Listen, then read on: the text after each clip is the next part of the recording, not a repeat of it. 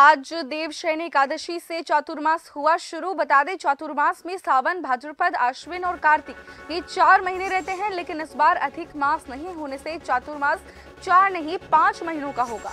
मांगलिक कार्यों पर लगा विराम 2023 से 19 साल पहले 2004 में सावन में अधिक मास था। इस कारण सावन अट्ठावन दिन का रहेगा। देवशयनी एकादशी से देव उठने एकादशी 23 नवंबर तक एक सौ अड़तालीस दिन का फेस्टिवल सीज़न रहेगा, जिसमें सत्तानवे दिन व्रत त्योहार मनाए जाएँगे। माना जाता है कि देव शयनी एकादशी से भगवान विष्णु विश्राम करते हैं। इस साल अधिक मास की वजह से विष्णु जी चार नहीं, पाँच महीने विश्राम करेंगे। बता दें, चार जुलाई को 2023 से शिव पूजा का महीना सावन शुरू होगा, जो कि इकतीस अगस्त तक रहेगा। 18 जुलाई से 16 अगस्त तक अधिक मास रहेगा। हिंदी पंचांग के हर महीने में सूर्य संक्रांति रहती है, यानी कि सूर्य राशि बदलता है, लेकिन अधिक मास में संक्रांति नहीं रहती है। चतुर्मास आज से शुरू होकर 23 नवंबर तक रहेगा। बता दें, तब तक गुरु पूर्णिमा अधिक मास, यानी कि 30 दिन, रक्षाबंधन, गणेश उत्सव 10 दिन, पितृपक्ष 15 दिन, नवरात्रि 9 दिन, दीपोत्सव 5 दिन सहित सत्यानवे व्रत त्योहार आएँगे।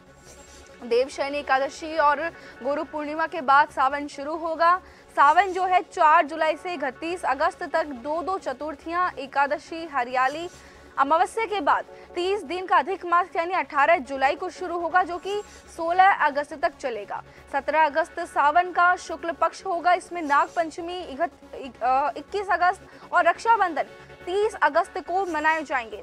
और इसी तरह देवशयनी एकादशी और गुरु पूर्णिमा के बाद सावन में उनतालीस दिन व्रत त्योहार रहेंगे। बता दें, भादो यानी अगस्त इकतीस से लेकर उनतीस सितंबर में 10 दिनों का गणेश उत्सव होगा। अमावस्या और पूर्णिमा के साथ 18 दिन के व्रत त्योहार रहेंगे। वहीं आश्विन मास 30 सितंबर से लेकर 28 अक्टूबर तक 16 दिन का पितृपक्ष 9 दिन की नवरात्रि, दशहरा, पापा कुंशा एकादशी अमावस्या और शरद पूर्णिमा के साथ 29 दिन के व्रत त्योहार मनाए जाएँगे। बता दें, कार्तिक मास यानी कि 29 अक्टूबर से लेकर 27 नवंबर में पाँच दिनों का दीपोत्सव, करवा चौथ, छठ पूजा के साथ 11 दिनों का व्रत त्योहार रहेंगे। इस तरह 148 दिनों के फेस्टिवल सीज़न में कुल सत्तानवे दिन व्रत त्योहार आएँगे।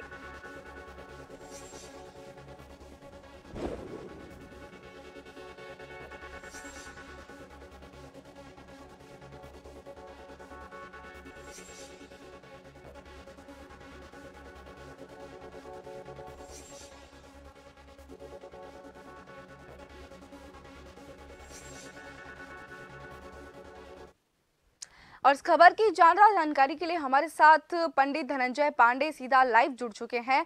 पंडित जी, क्या बताना चाहेंगे? आज से चातुर्मास शुरू हो रहा है। एका देवशयनी एकादशी से चातुर्मास शुरू हो रहा है। इस बार चार नहीं, पाँच महीनों का सावन होगा। तो इन, चातुर्मास का किस तरह से धार्मिक महत्व है? क्या बताएँगे किस तरह से आराधना इस महीने में की जाती है? देखिए, ये चातुर्मास, ये तत्वनाश जो लिया गया है हमारे सनातन परंपरा में संतों के लिए, सनातन धर्म के लोग मानने के लिए लोग चार महीने किसी एक स्थान में निवास करते हैं और परम पिता परमात्मा को, इसको, नारायण को या अपने गुरुदेव के मंत्र त्यारी, जिसकी जो श्रद्धा है, उसको जब तप करते रहते हैं। देव सैनी एकादशी आज है। आज से भगवान विष्णु क्षीर सागर में चार महीने के लिए निवास करेंगे। लेकिन इस बार सावन दो लगने से, एक सावन जो अट्ठाईस दिन का बढ़ गया है, वो एक्स्ट्रा समय होगा, ज़्यादा समय होगा भगवान का निवास के लिए।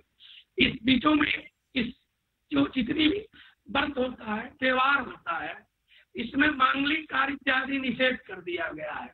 इस तरह विवाह नहीं होगा, गृह प्रवेश नहीं होगा, नवीन काम नहीं किया जाता है। भगवान के उठने के बाद ही उस तुलसी के साथ शालिग्राम का विवाह किया जाता है और उसी में हम भगवान नारायण के पूजन करते हैं। उसी दिन से मांगलिक कार्य प्रारंभ हो जाता है। एक और चीज़ है, अभी भगवान सूर्य उत्तरायण है और भगवान अगले महीने दक्षिणायन हो जाएँगे। तो दक्षिणायन सूर्य छह महीना रहता है। ये आगे जाकर के मकर संक्रांति तक दक्षिणायन सूर्य माना गया है। बल्कि दोनों एक मांगलिक कार्य होता है। उत्तरायण में भी और दक्षिणायन में भी। लेकिन इसमें सावन भादो और आश्विन इसमें पितृपक्ष इत्यादि जुड़ता है।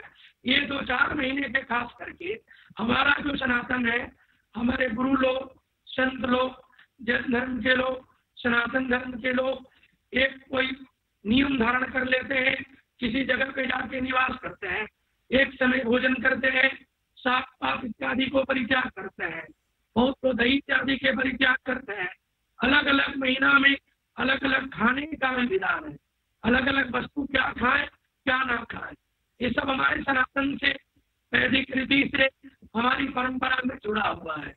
लेकिन भगवान का जो ससुराल है, वो क्षीर सागर माँ लक्ष्मी की जो सेवा करती है, भगवान के चरण कमल की सेवा जो भगवती लक्ष्मी करती है, चतुर्थ मास में भगवती जब साथ में होती है तो भगवान शयन काल में होते हैं।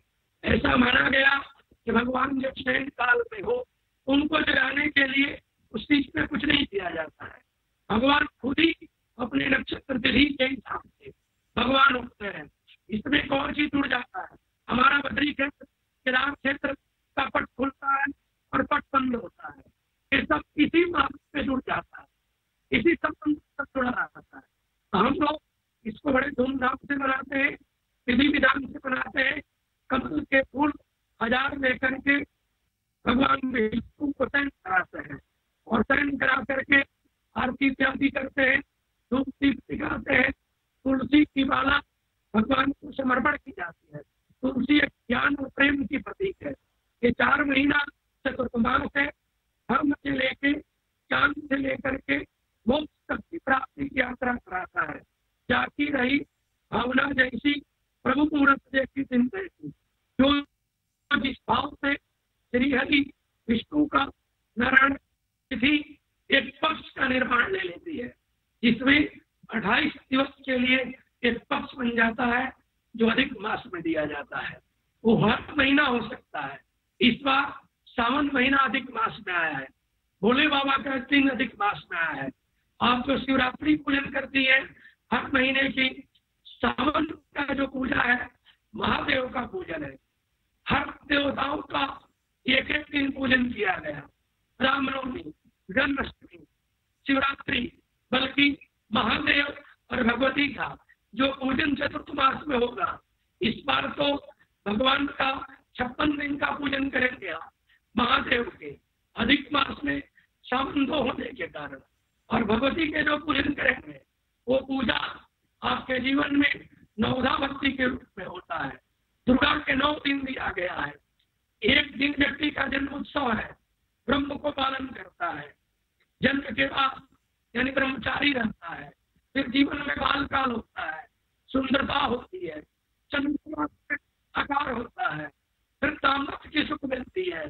फिर संतति की प्राप्ति की जाती है। फिर उसके जीवन में सुख दुख है। महागौरी में साधना है। सिद्धिदात्री में कार्य की सिद्धि है। ये चतुर्थ मास में नवधा भक्ति के नौ देवी का भी पूजन करने का विधान है। जी। पंडित जी, तमाम जानकारी के लिए आपका बहुत बहुत धन्यवाद। जैसा कि आपको बता दें, आज से देव शयनी एकादशी आज देवशयनी एकादशी है और देवशयनी एकादशी के साथ ही आज चातुर्मास भी शुरू हो गया है और और इन चातुर्मास, इस बार चातुर्मास जो है अधिक मास का है, यानी चार नहीं, पाँच महीनों का है और इन इन अधिक मास के दौरान कोई भी मांगलिक कार्य नहीं किए जाएँगे।